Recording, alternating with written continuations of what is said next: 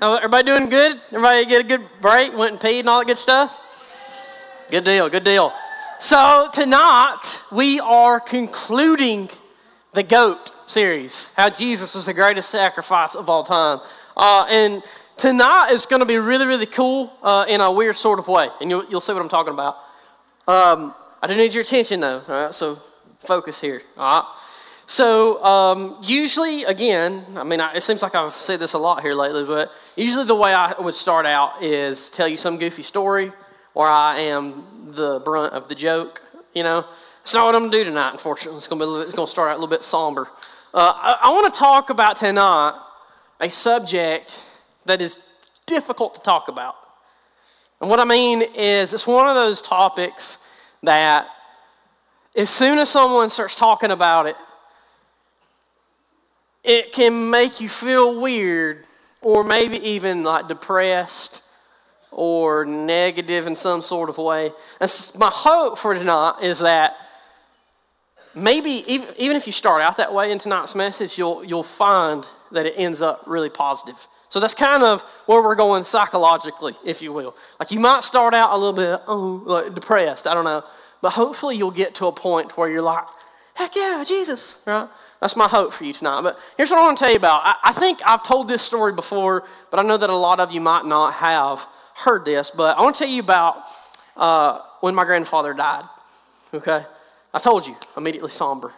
Um, my grandfather was like the toughest dude that I ever knew. Like, and when I say toughest, it's not because he was like, ooh, and walked around like that. That's not what I mean by tough. I'm talking like this dude nailed his fingers together on accident with a nail gun.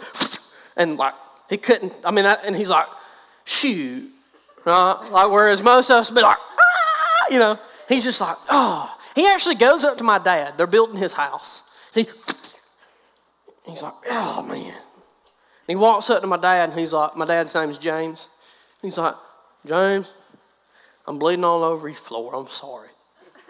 My dad's like, oh my gosh, get in the truck. We're going to the, you know, the emergency room. Right? And he's like, oh, I'm good. I'm good. And they go to the emergency room, and pull the nail out of his finger, stuff like that. I, I, one time, too, he was walking in front of my grandmother's house with a, with a horse. Right? Like he is like walking this horse. As to why he wasn't riding it, I don't know.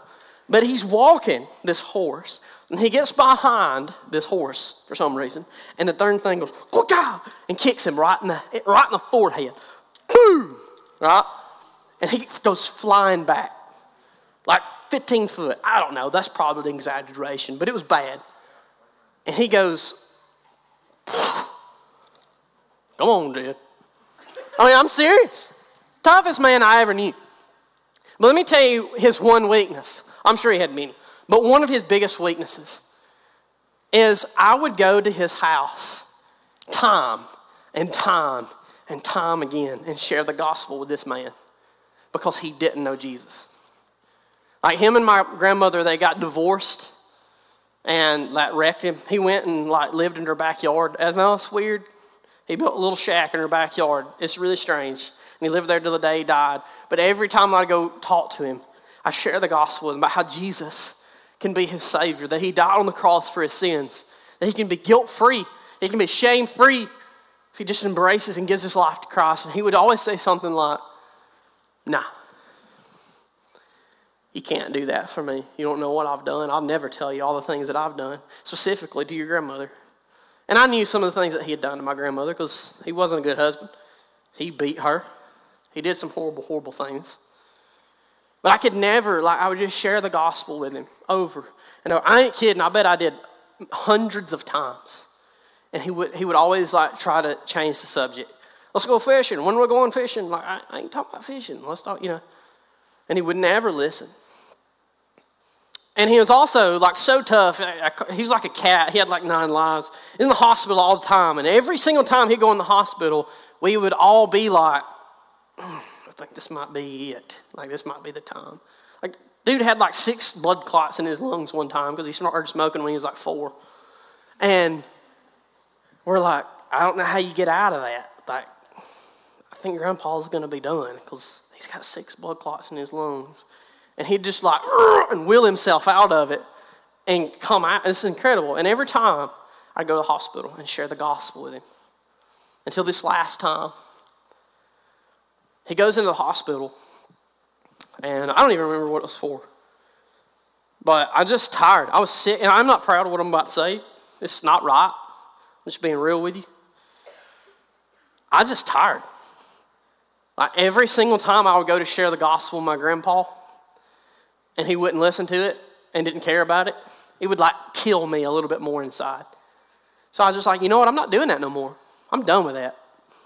Like I've shared with him, I've done what I'm supposed to do. I'm not doing it no more. Like I'd made this decision in my mind, unfortunately. And I remember going to his room and he's sitting there and he's not doing well. Like, not doing well. Like, this is pretty obviously going to be the last time. And I'm sitting there and in my mind, I'm like, I'm still questioning do I, do I share with him or do I not share with him? And I don't. And I'm about to walk out. And the friend that I had with me leans over to my grandpa. It's like the most irritating thing on the planet because I spent all, the, all these many times, hundreds of times, sharing the gospel, gospel with him elaborately. And all my friend does is goes, Hey, you want to receive Christ? And he's like, Yes, I do. I'm like, What the heck? I did this hundreds of times. But, but it's just incredible. Like, he finally does. He gives us, like, and literally, like, he only lives like two more days. But in those two days, it's like my grandfather experiences this incredible joy and transformation just in two days of the rest of his life. Unbelievable. And I remember the day he died, standing there at his bed. He's dead in the bed. And I remember standing there and I'm thinking, and, and maybe I'm weird for this, but I remember thinking, like, I'm supposed to be sad right now.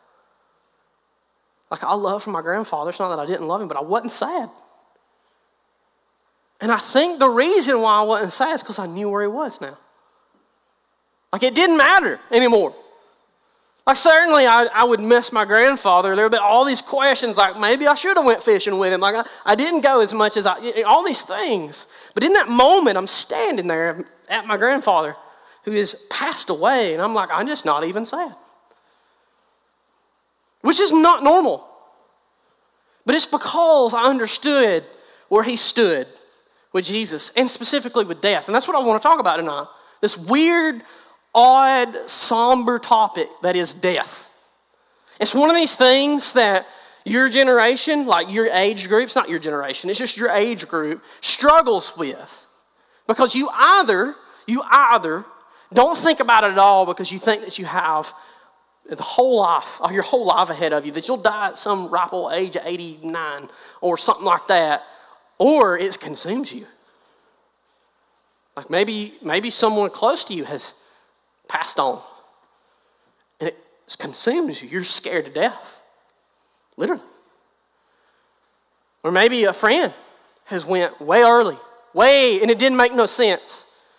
And you get in this weird place of either you don't think about death at all like you should, or you think about death way too much to the point to where you're more scared of death than you ought to be. And that, that's what I want us to talk about tonight. This is this incredible story that we find in the Gospel of Luke, chapter 7, where Jesus does something so incredible that it completely changes everything. Like it's a precursor of what he would do himself on the cross and in the resurrection. But it's this unbelievable story. Look, look what it says. It says, Soon afterward, he went to a town called Nain, and his disciples and, and a great crowd went with him. As he drew near to the gate of the town, behold, a man who had died was, carried, was being carried out. Okay, let's just stop there for a second. Nothing's out of the ordinary yet. People die all the time, unfortunately, right? But people die. So there's nothing strange about this story yet. Man who died was being carried out. Then we get to the odd part.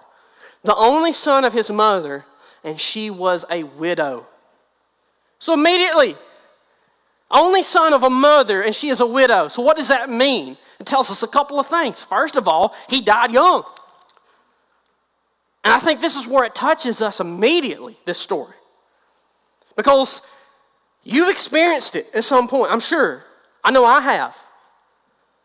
Where someone dies who is not supposed to die.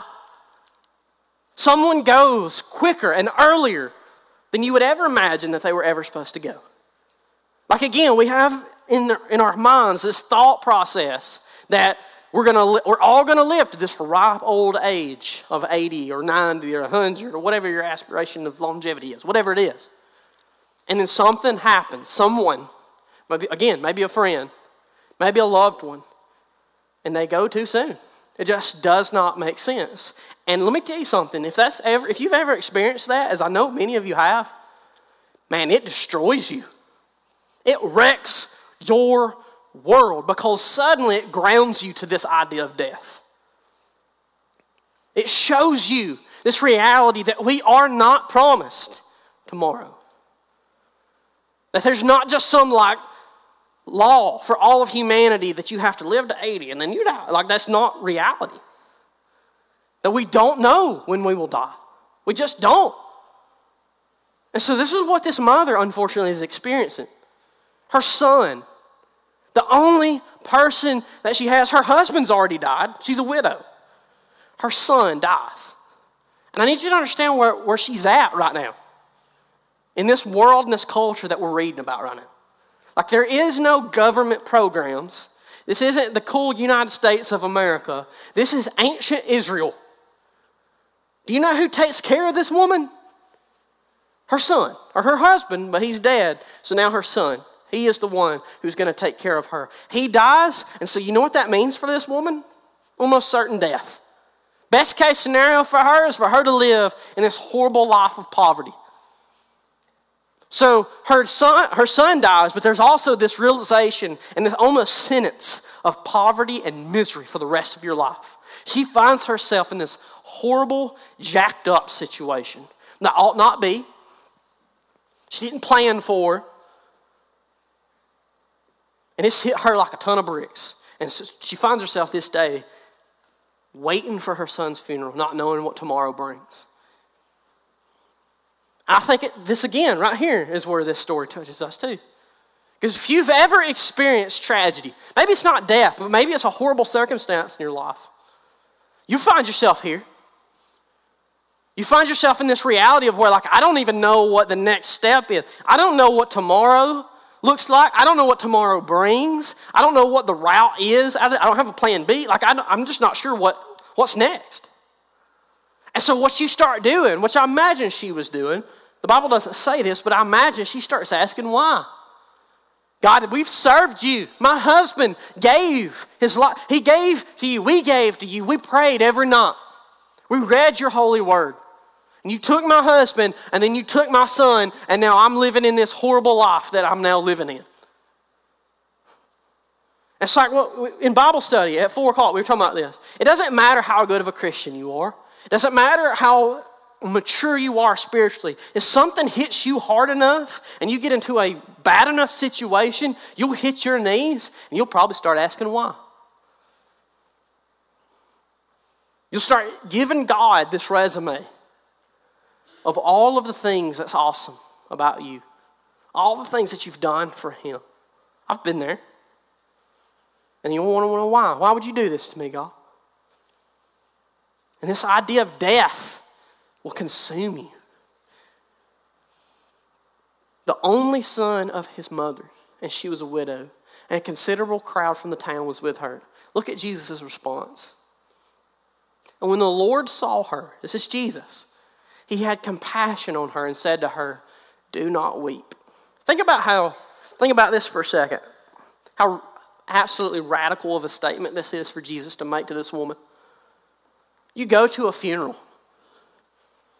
Someone's loved one, the person that the only person they had left, the one that they loved more than anybody on this planet has died. And you walk up to them and you say, Don't cry. How rude is that?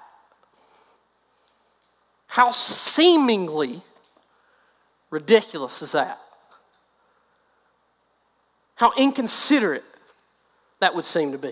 Jesus walks up to this woman, has compassion for her situation, says, Do not weep.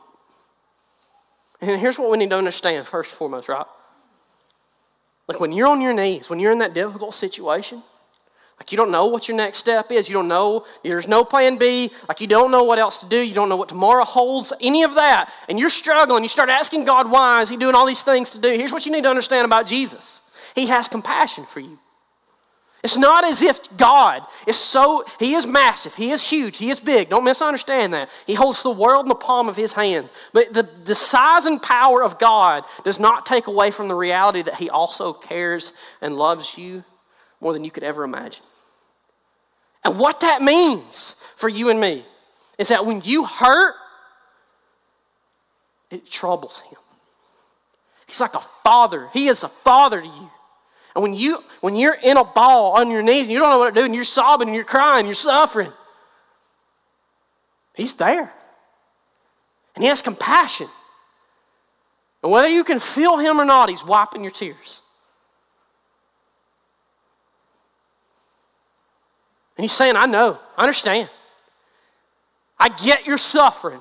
I get your pain. I get your turmoil. I get what you're going through better than you even know what you're going through. because he experienced all of it too. This is the beauty of the humanity of Jesus, which you already talked about in other series. But you can't let the enemy, you can't let our culture, you can't let the world, you can't even let yourself convince you that God doesn't care about you and your pain. He walked up to a woman whom he had never met and had compassion for her because of her pain and said, Do not weep. And this is why he said that. This is the next thing that he does. Says, Then he came up and touched the bier. Now, that's not like a drink. Calm down. What that is, is like this cart that they would put a casket on. And the bear stood still. And he said, Young man, I say to you, arise. And the dead man, the dead man sat up and began to speak. And Jesus gave him to his mother. Fear seized them all, and they glorified God, saying, A great prophet has arisen among us, and God has visited his people. And this report about him spread throughout the whole of Judea and all the surrounding country. Just try to picture this for a second. Try to put yourself in this reality. This dude is dead. Done. Final. Zilch. His life is over. Never see him, talk to him again. Ever. Done. Jesus walks up, sees and has compassion for this widow, looks at her and says, Do not weep. I know your pain. I know the difficulty you're going through. I know what situation you're in that you're, you're going to die too. Do not weep. He says to this dead body, Young man, arise. Old boy sets up. He he sits up and begins to speak to his mother. Jesus says, Here's your son. And everyone loses their mind, as you would too. What does this mean? What's the point of this story? Here's the point of this story. The point, the whole point that this story is trying to point to, and for, uh, for me and for you, is this reality that Jesus, God, is so powerful that He reigns over death. Here's what you need to understand before Jesus, death is final. This thing called sin, this evil pit that is inside of you and me that bends us towards doing the things that we know we ought not to do, it produces this thing called death. If, you, if you're in sin, you will die. And you're done. It, final, over, never again. Clay in sin will be no more in death. But what Jesus shows us in this story is it don't have to be that way. Like it's just foreshadowing what's, what he's, what's, coming, what's coming, what he's going to do with himself. This young man who was done, dead, he says, Arise, and he sits up. In this one show, in this one scene, in this one event, what Jesus is showing is that this thing called death, this consequence of sin, the consequence of this disobedience in the Garden of Eden that traces all the way back to Adam and Eve, it is not more powerful than God. It does not have the final say. Jesus can speak and death is no more. That's what this story is pointing us to. That's why, he, that's why Jesus said all of these weird, radical claims. It's when he, on the cross, here's what you need to grasp about Easter. This is what you need to understand about Jesus and his death on the, the cross. It says, after this, Jesus, knowing that all was now finished, he's on the cross. said, To fulfill the scriptures, I thirst. A jar full of sour wine stood there. So they put a sponge full of the sour wine on a hyssop branch and held it to his mouth. When Jesus had received the sour wine, he said, It is finished. And he bowed his head and gave up his spirit. He died. Dead. Psst, done. Final. No more Jesus. Dead. And here's what I need you to understand about Jesus. If this is where that story ends, there's nothing special about Jesus other than the life he lived and the miracles that he did. Cool stuff, right? He's not the Jesus that we worship if this is where the story ends. He dies. He's done. Final. Consequence of sin, boom. He took sin on himself. He gets the consequence. Done. Death is still reigning. Death is still final. It still has a grip on us. But then this happens. But on the first day of the week, at early dawn, they went to the tomb, taking the spices they had prepared for Jesus after he died. And they found the stone rolled away from the tomb. But when they went in, they did not find the body of the Lord Jesus. While they, are, while they were perplexed about this, behold, two men stood by them in dazzling apparel. And as they were frightened and bowed their faces to the ground, the men said to them, Why do you seek the living among the dead? He is not here, but has risen. Here's what you need to understand there's a whole bunch of people on this planet that's died. And in fact, every single person that's ever lived has died. Only one person has ever resurrected himself back to life. In this one, in the resurrection, what's so cool about the resurrection is in this, in this resurrection, Jesus completely kills death. Suddenly, this consequence of sin that is due to all of us, he kills, puts to death, conquers death. This one act of resurrection dies on the cross. Jesus is final. Jesus is done. Satan feels like he's won. Stone rolls away. He walks out. The disciples come, and the angels say, Why are you looking for the living among the dead? Because Jesus Christ is not dead anymore. He once was, he came back to life. There is no finality in death for Jesus. And here's what's really cool about this Jesus said to her, I am the resurrection and the life. Whoever believes in me, though he died, though he die, yet shall he live. And everyone who lives and believes in me shall never die. Jesus dies on the cross. He resurrects. He conquers death. Cool, great for him. But what the Bible is very clear about, what the gospel is very clear about, just like death was not final for Jesus, it does not have to be final for us. When we're in Christ, suddenly, death has no sting. Suddenly, death is not final for you and me. Every one of us in this room is going to die. But that does not have to be the end of you. It ain't the end of me. Because I'm in Jesus, because He resurrected, that means that I will too. It means I put my faith in Him, that death is not final. It is not the final say so in my life. I am an immortal being, which means I will live on. I will live with Him because of what He did for me. This is why Paul says this. This is where everything comes. It's not what Paul says, this is what I said. This is the bottom line for tonight. Death to death means life for us. It's incredible about this. Don't, don't miss this. Don't miss this. Death is the consequence for the sin and disobedience in the garden. It's transferred to you and me. If you commit one sin, if you do one thing wrong that you know that you're not supposed to, the consequence of that is death. Final, done, end of you. But when Jesus resurrects, when Jesus conquers death, when he puts death to death, that means you and I get to live. That in him and through him, we can live on. We can continue that we are immortal and we can have an eternity in heaven. That's why Paul says this. We shall not all sleep. He's talking about death.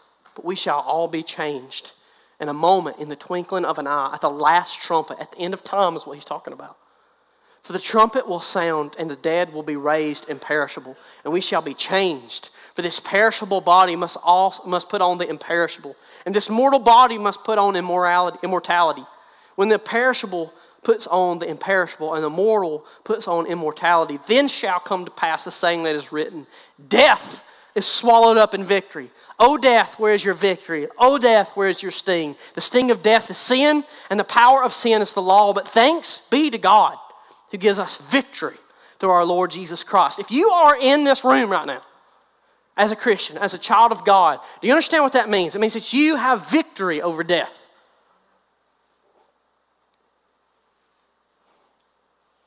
Death does not get to determine the end of you because you are a victor over death through Christ. If you believe in Him, if you believe in His gospel, if you believe He died on the cross for your sins and then resurrected, you get that through Him. You get to be a victor. One last scripture says, And I saw, this is Revelation, this is the end of time. When everything's done, it says, And I saw the dead, great and small, standing before the throne, and books were opened. Then another book was opened, which is the book of life. And the dead were judged by what was written in the books, according to what they had done. And the sea gave up the dead who were in it. Death and Hades gave up the dead who were in them, and they were judged, each one of them, according to what they had done. Then death and Hades were thrown into the lake of fire. This is the second death, the lake of fire. And if anyone's name was not found written in the book of life, he was thrown into the lake of fire. The death of death means life for us. You don't have to die and be done. You don't have to remain in your sin. If you've never received Christ, you are. You're just in your sin right now. Death is final. But the cool thing about Jesus and the gospel is he gives it freely. It's not like he gives all of these incredibly difficult obstacles to get through. It's not like go through this ninja course and then like maybe we'll talk. None of that. Don't get real good. Don't don't like you, you got to not cuss for a while and then we'll talk about it or you got to read your Bible. None of that. Jesus literally just has his arms open. He says, "I've already conquered death."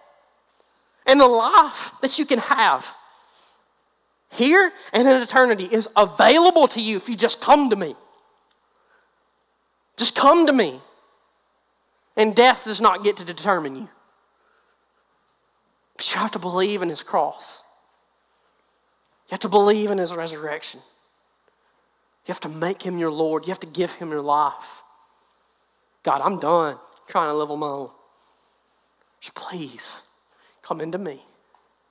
Make me new transform me. Do with me whatever you want to do. I believe that you died on that cross. I believe that you resurrected, and He will make you new. He will make you a new creation. He will transform you, as Paul said, in the twinkling of an eye, in one moment. And when the end comes, when the end of all this comes, the end of time, whenever that is, death, Satan, hell will all be thrown it's like a fire, and you'll get to spend eternity with your Heavenly Father. That's why, as I stood at my grandfather's bed, I think I wasn't sad.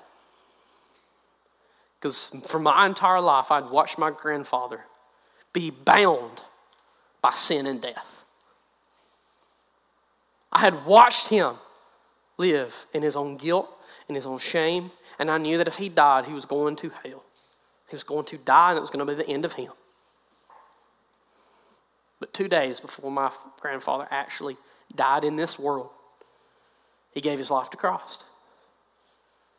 And death was no longer his master, sin was no longer his master. And he will live on for an eternity. I'll get to be with him, and me and him will, will be together in heaven with Jesus because he gave his life to Christ. Death to death means life for you and for me. Let's pray. Heavenly Father, I thank you for this day, God. I thank you for these students. I thank you for your gospel. And Lord, I just pray that you would just like help it sink into us. that death has no hold on us. Whatever level of understanding we have in that, our Lord, I just ask you to press that deeper into our hearts and minds and souls. Where these students here would understand and know that your cross was not just a horrible way to die, but instead it was an avenue towards a resurrection that would ultimately kill death itself. That they have freedom in you, they have life in you, because you did the impossible. You killed the very consequence of the sin that we created at great cost to yourself. And so, Lord, I just pray those of us who are in this room, Lord, that are your children, that have received your gospel, Lord, that you would, you would just further fill our hearts with that reality. God, I just pray that if there's any in here in this room right now, still bound by death, Lord, if they died right now and tonight, it'd be done, it'd be final, that you would show them the beauty of your gospel and how simply it is and how easy it is for death to have no hold on them anymore. That they can live on, that they can have an eternity with you in heaven. And it's through your gospel, Lord. I just pray that you give them the courage, strength, and boldness, Lord, to mention that to their small group leader or somebody. Lord, show them literally all they have to do is just talk to you, pray to you, and say, I believe. Believe that you died on that cross for my sins and resurrected. Lord, I just want to give you my life. And help us live in this reality that death has no sting, has no hold on us, Lord.